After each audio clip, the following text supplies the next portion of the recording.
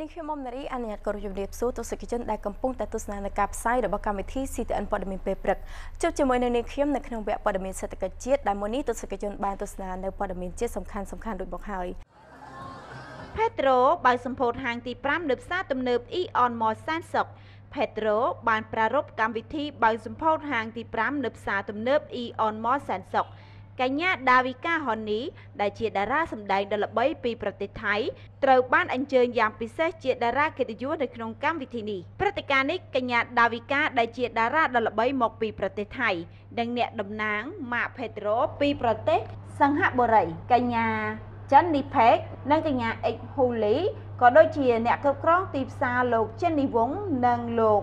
Brand កុងដែលជាអ្នកគ្រប់គ្រងម៉ាក Petro បានចូលរួមយ៉ាងពិសេសនៅក្នុងពិធីកាត់ខ្សែបូសម្ពោធហាងថ្មីនេះនៅក្នុងកម្មវិធីនេះផងដែរតារាល្បីៗនៅក្នុងព្រះរាជាណាចក្រកម្ពុជា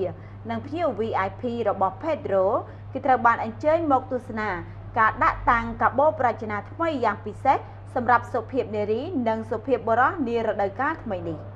លើពីនេះទៅទៀតអ្នកឈ្នះ30នាក់នៅក្នុងការចាប់ឆ្នោត ដើម្បីជួបជាមួយនឹងកញ្ញាដាវីកាក៏ត្រូវបានអញ្ជើញយ៉ាងពិសេសផងដែរកញ្ញា Jenny Peck ដែលជាអ្នកតំណាងម៉ាកអន្តរជាតិបានលើកឡើងថាការបើកសម្ពោធហាងទី5នៃម៉ាក Pedro និងការអមទៅដោយការដាក់តាំងកាបូបម៉ូតផ្ដាច់មុខសម្រាប់ប្រទេសកម្ពុជា ជាសន្ទុះនៃការរីកដុះដាលរបស់អ្នកគ្រប់គ្រងពួកយើងនឹងខិតខំប្រឹងប្រែងនាំយកនៅ collection ថ្មីប្លែកៗដើម្បីតម្រូវជូនភាពទាន់សម័យរបស់បុរសនារីឲ្យកាន់តែលេចធ្លោ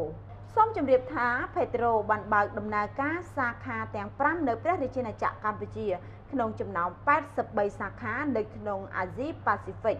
តំបន់កណ្ដាលភាគខាងកើតនិងតំបន់មួយចំនួននៅប្រទេសចិន។